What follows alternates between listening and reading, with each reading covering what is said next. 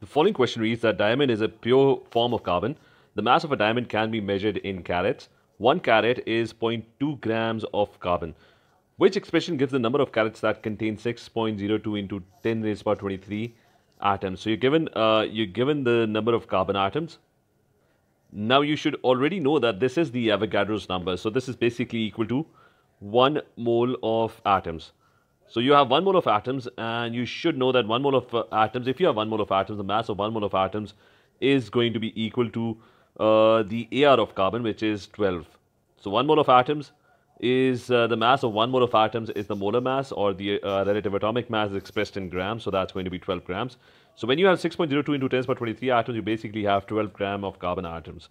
Now the next thing is we're going to use ratios that 0.2 grams is basically equal to 0.2 grams is basically equal to 1 carat.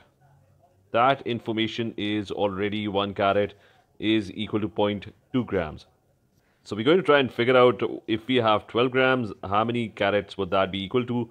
I'm going to use x and if we cross multiply, x would come out to be equal to, it's going to become out, it's going to come out to be equal to 12 divided by 0 0.2. So the correct answer is going to be option C is going to be my correct option for this particular question.